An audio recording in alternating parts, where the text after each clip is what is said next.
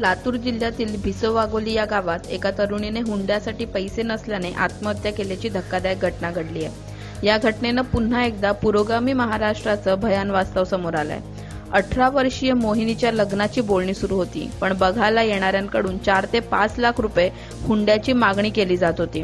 घरात आर्थिक चणचण अशात एवढ्या हुंड्याची मागणी या परिवाराला हादरवून सोडणारी ही घटना आहे. आजही समाजाच्या काही भागांमध्ये मुलींचे बालविवाह केले जात असल्याचं उघड होत आहे अशीच एक घटना शिक्षणाचं माहेरघर असलेल्या पुण्यात घडली आहे. अकरावी शिकत असलेल्या मुलीचा बालविवाह लावून देण्यात येत होता. मात्र मुलीने याला कडाडून विरोध केला आणि स्वतःचे लग्न रोखले.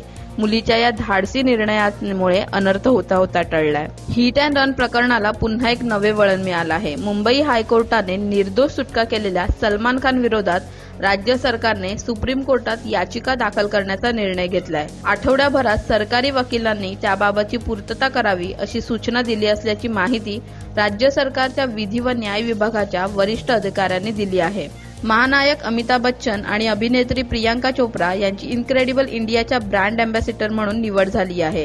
गेल्या महिन्यात आमिर खान याच्याशी असलेला करार संपल्यानंतर त्याची ब्रँड अँबॅसिडर पदावरून उचलबांगडी करण्यात आली होती. भारत आणि पाकिस्तान सीमेवर बीएसएफच्या जवानांनी भारतीय सीमेत घुसखोरी करणाऱ्या दहशतवाद्यांचा प्रयत्न हाणून पाडलाय.